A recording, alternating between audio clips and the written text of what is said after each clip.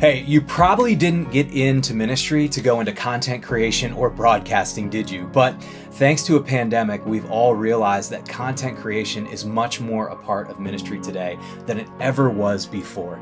And so this course is dedicated to helping you learn how to create high quality content that you can use for your own discipleship systems in your church. And here's the best part it is way easier than you think.